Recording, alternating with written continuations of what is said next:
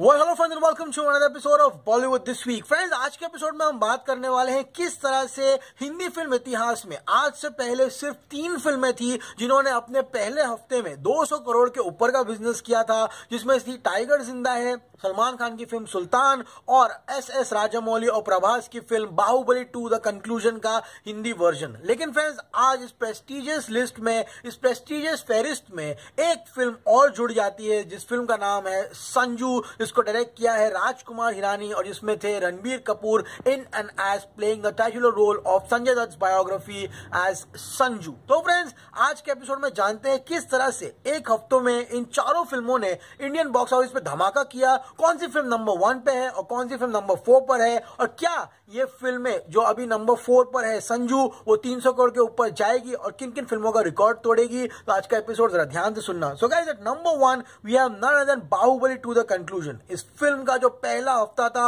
वो धमाकेदार था। और गाइस जिस तरह से इसने पहले हफ़्ते में 247 करोड़ रुपीस कमाए थे, सब लोगों को इस फ़िल्म ने आश्चर्यचकित कर लिया। लेकिन फ्रेंड्स गौर करने वाली बात यह है कि जब Baahubali two the conclusion release हुई थी, तब कोई भी छुट्टी नहीं थी, लेकिन समर वेकेशन चल रहे थे। हम समर वेकेशन को कोई नेशनल हॉलीडे से, जैसे ईद क्रिसमस दिवाली इससे कंपेयर नहीं कर सकते। इसीलिए फ़िल्म अपने पूरे मेरिट पर इसने अपना रन यूज़ किया और एक हिंदी फ़िल्म नहीं होने के बावजूद भी एक Telugu dub film in Hindi 247 crore rupees कमा के एक ऐसा रिकॉर्ड बना दिया है, जिसको आने वाली फ़िल्मों को बहुत कठिनाई होगी तोड़ने के लिए। तो number one In the first week, record holders is Bahubali to the conclusion with 247 crore rupees. At number two, we have Salman Khan's film Sultan. बहुत लोगों को कंफ्यूजन है कि सलमान खान की फ़िल्म ने पहले वीक में कितना कमाया था well friends the official figure is 209 crore rupees obviously ये फ़िल्म वेडनेसडे को रिलीज़ हुई थी तो इसीलिए वेडनेसडे टू वेडनेसडे का ही यू नो हम लोग आंकड़ा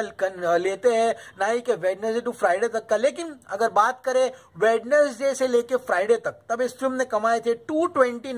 2.16 crore rupees yes friends लेकिन यहाँ पे वीक वन की बात हो रही है तो हम लोग 209 करोड़ रुपए का फिगर लेके चले गए। सलमान खान की फ़िल्म सुल्तान आज अपना दूसरा साल सेलिब्रेट कर रहे And friends, at number three, we have none other than last year's Christmas धमाका टाइगर ज़िंदा है टाइगर ज़िंदा ने भी सात दिनों में दो सौ छह दशमलव शून्य चार करोड़ रुपए की ज़बरदस्त कमाई की थी ये फ़िल्म एक बॉक्स ऑफ़िस पे धमाका साबित हुई थी और फिर सात दिनों में ये इंडिया की थर्ड फ़िल्म बन गई थी जिसने एंटर किया था in the prestigious 200 crore club obviously पहली फ़िल्म थी सुल्तान दूसरी थी बाहुबली और तीसरी बन गई टाइगर ज़िंदा है लेकिन collection wise first is Baahubali second is Sultan and third is Tiger Zinda Hai लेकिन फ्रेंड्स आज इस फेरिस्ट में एक और प्रेस्टिजियस फ़िल्म ज्वाइन कर लेती है। ना ही आमिर खान की फ़िल्म ना ही शाहरुख खान की फ़िल्म ना ही अक्षय कुमार, ना ही अजय देवगन, ना ही ऋतिक रोशन, बल्कि द नया रोशन सितारा, उभरता सितारा, रणबीर कपूर। यस फ्रेंड्स बहुत प्राउड मोमेंट है रणबीर कपूर, जिसका करियर ऑलमोस्ट फिनिश्ड हो चुका था, आज राजकुमार